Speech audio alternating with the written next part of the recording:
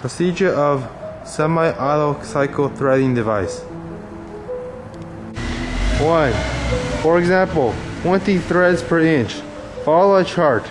Put the gear on lever A, D, E for inch, thread, and select direction on direction control lever. Use jogging button to make sure gear is well engaged.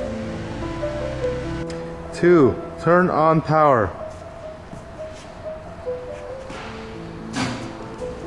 3. Start spindle.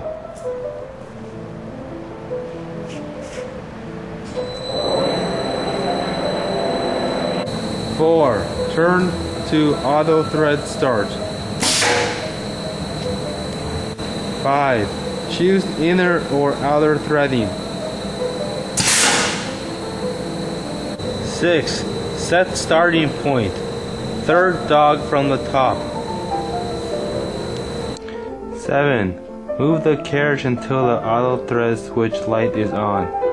This means the limit switch contact starting point. 8. Set the reversing dog towards tailstock, the bottom dog. 9. Follow the chasing dial. 10. Push cycle start.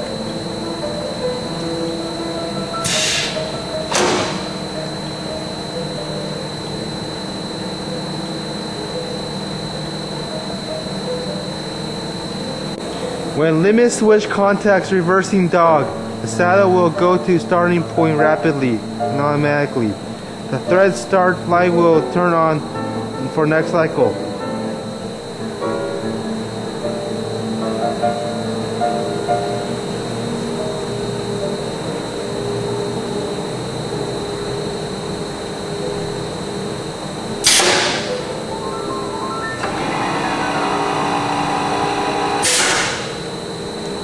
Eleven. Explanation for control dog. One. Travel dog for maximum safety limit switch. Two.